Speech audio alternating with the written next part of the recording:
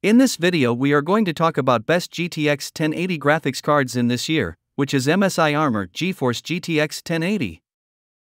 We will be going over the special key features of this product and why this product is so popular. So stay tuned and let's get into the video. The MSI Armor GeForce GTX 1080 is a graphics card designed for gamers and PC enthusiasts. It was released in 2016 and uses the NVIDIA GeForce GTX 1080 GPU graphics processing unit. Here are some of its key features. Graphics Processing Unit GPU The GTX 1080 GPU is built on the NVIDIA Pascal architecture and uses 16 nanometers FinFET technology. It has a base clock speed of 1607 MHz and a boost clock speed of 1733 MHz.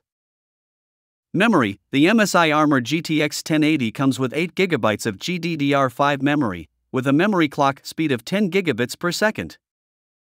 DisplayPorts The card has 3 DisplayPort 1.4, 1 HDMI 2.0B, and 1 DLDVI port.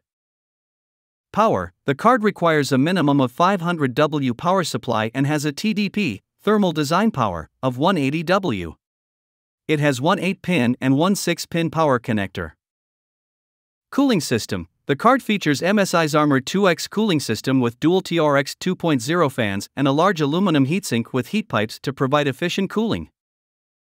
Design The card features a black and silver color scheme with a brushed aluminum backplate, making it an attractive addition to any PC build.